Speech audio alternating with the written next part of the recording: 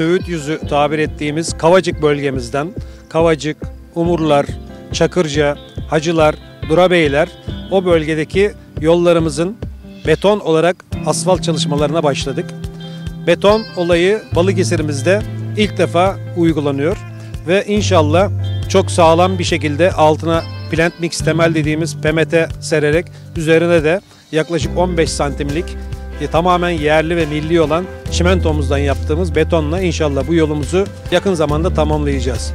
Bugün itibariyle çalışmalarımız başladı. Sayın İçişleri Bakanımıza arz etmiştik. Bizim burada yaklaşık 18 tane köyümüzü ilgilendiren bu şekilde bir yolumuz var ve bu yol yıllardan beri sorun. Maden arabalarının, kömür arabalarının, mermer arabalarının ve nüfusun yoğun bir şekilde kullandığı yol olarak kendisinden rica etmiştik. Sağ olsun bizlere beton yol konusunda çok destek oldu ve 18 kilometre olarak bu yolun ihalesi yapıldı.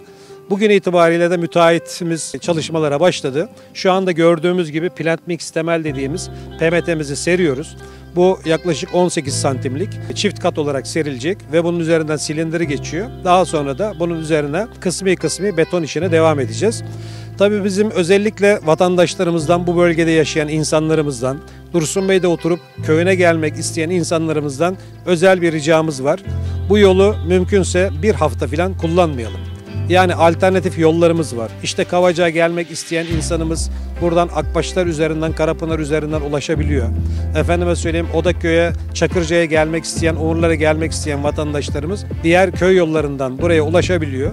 Biraz yolumuz belki uzayacak ama bunun betonun daha sağlıklı, sıhhatli olması için, üzerinde iz olmaması için bu şekilde bir uygulama yapmamız gerekiyor. Bunu da bizim belediyemizin sayfasından, anons ilanlarından ve sosyal medyadan sık sık kısım kısım nerelerinin kapalı olduğuna ilgili bilgiler vereceğiz. Bunları da takip ederlerse bizleri memnun ederler. Ben bu konuda bize her zaman destek olan, başta Sayın Cumhurbaşkanımız Recep Tayyip Erdoğan olmak üzere, İçişleri Bakanımız Sayın Süleyman Soylu'ya, buranın altyapısında e, çalışmalara da bizlere her zaman destek olan ve altyapısını yapmamızda öncelik gösterdiği için Büyükşehir Belediye Başkanımız Sayın Yücel Yılmaz'a, Yasin Sagay Bey'e teşekkürlerimi, şükranlarımı sunuyorum.